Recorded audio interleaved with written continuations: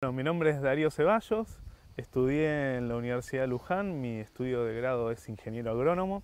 eh, después realicé una maestría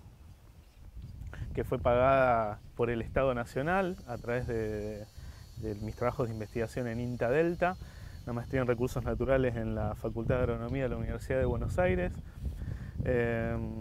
trabajo o trabajé hasta el 15 de diciembre del 2014 como investigador en provisión de servicios ecosistémicos en los humedales del Delta del Paraná, en una experimental que estoy trabajando hace 12 años. La, motivación fue colectiva, somos un, grupo de compañeros de, equipo que nos venimos planteando este desafío desde hace varios años en, pro de mejorar la optimización de, recursos de la, de la experimental, de conformar una, unidad que sea parte del territorio y no que accione sobre el territorio y que piense en procesos constructivos con, los diferentes actores, con los diferentes actores de estos humedales. Bueno, el delta es único a nivel mundial. Hay diferentes humedales, pero el delta constituye un macromosaico de humedales. Que son tierras que se inundan y se secan dependiendo de los regímenes de los distintos ríos, pero se encuentra con un... Cualquier ciudadano se encuentra con un paisaje hermoso, eh, húmedo, con muchos mosquitos. Eh, los productores se encuentran con tierras muy fértiles, con buena disponibilidad de agua y con muchos recursos para aprovechar sustentablemente y para poder solventar a la familia rural. Aún recursos que por no dar lugar a nuestra creatividad todavía no estamos aprovechando.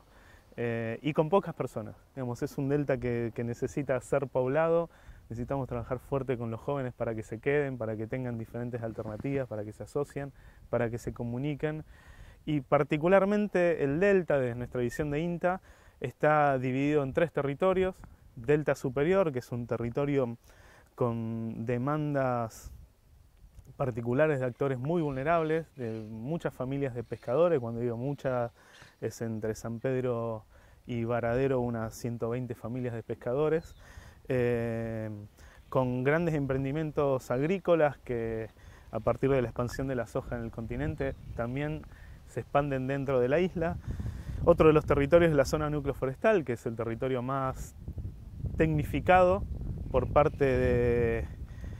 familias de vascos que, se organizaron y que desde hace ya unos 60, 70 años eh, vienen trabajando en sacar ese agua de los humedales y en manejar esos ecosistemas, ya hoy agroecosistemas o forestos agroecosistemas, y eh, de a poquito eh, inclinándose hacia la producción ganadera y otros tipos de producción como la pecanera. Y finalmente el territorio delta frontal, que es el delta que da hacia el río de la Plata, es hacia donde crece el delta,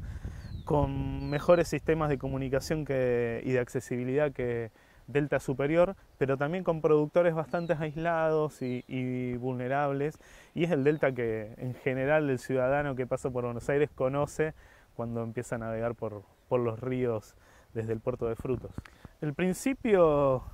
eh, básico de la gestión que planteamos para estos, para estos cuatro años es fortalecer la organización, digamos, desde la gestión interna, que las nuevas conducciones se encuentren con una organización y con trabajadores con espacios de superación, con creatividad y con independencia. Y específicamente en los territorios, bueno, difiere por las particularidades de cada territorio, pero el principio básico también está vinculado en trabajar con los actores más vulnerables y ampliar la audiencia, no sé si es la palabra en realidad, ampliar eh, las herramientas de desarrollo en eh, los sujetos agrarios que viene tradicionalmente eh, visualizados por la, por la, experimental. Bueno, se va a encontrar con un, un vecino de la isla, un vecino del barrio Tamendi, en en el, cual me siento muy identificado, una persona abierta y, y, con las tranqueras abiertas sobre todo, las tranqueras abiertas de la experimental para que decimos entre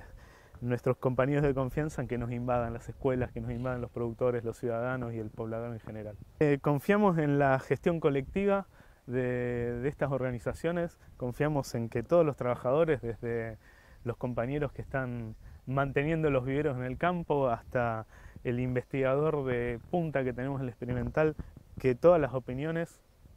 son sustanciales para poder generar espacios de construcción social en estos ambientes rurales.